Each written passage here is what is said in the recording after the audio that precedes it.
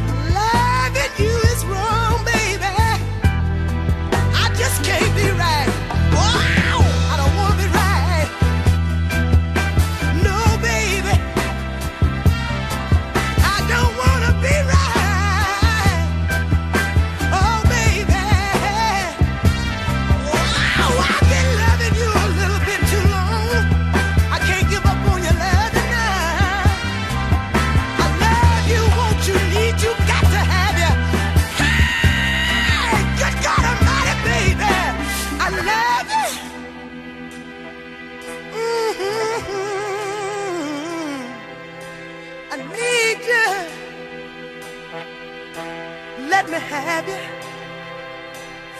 Mm. You see, the terrible thing about being in love with a married man is the fact that you can't see him when you really want to, and that can get to you sometime. Late in the midnight hour, when you really feel like you need a little love and the man ain't nowhere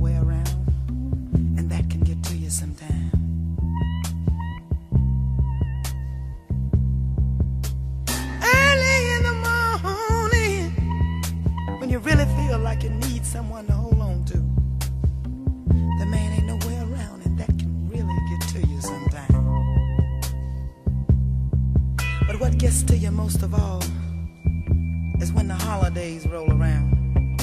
You gotta always be by yourself. Cause that's the time when the families get together. All the in laws come to visit. So he has to stay home and play the part of the good and faithful husband. But I ain't worried about it. Cause I found out that when a man starts tipping away from home, somebody at home is falling down on the home front. That's because when these women marry these men, they have a tendency to take advantage of them. They forget about all the sweet things they say to get them, that they have to keep on saying them to keep them. Cause you got a whole lot of women out there these days, just like me, who'll tell a man anything in the world he feel like he might wanna hear.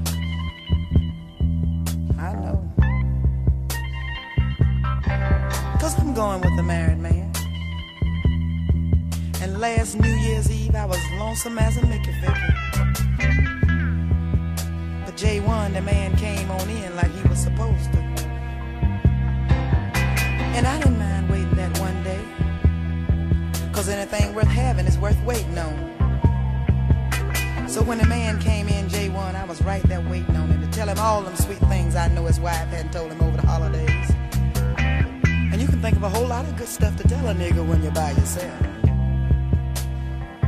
So the minute my man came in the door, J1, I started laying it on him.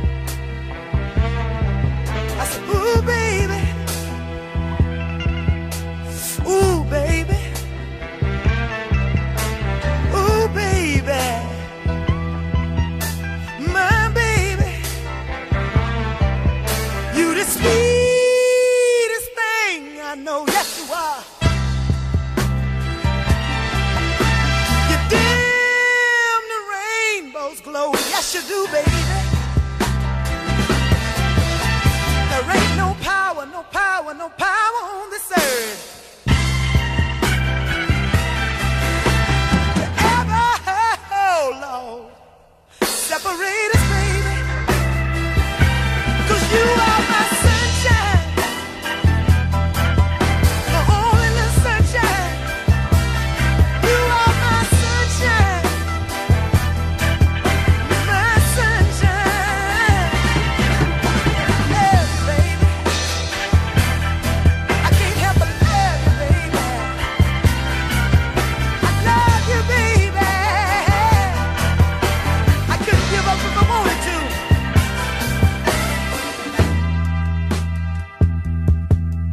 Know I don't want to leave you with a one-sided conception over this thing. Anyone out there in my shoes this evening, I want you to know what I'm talking about. I want you to know there's two sides to this thing. There's a good side to being in love with a man.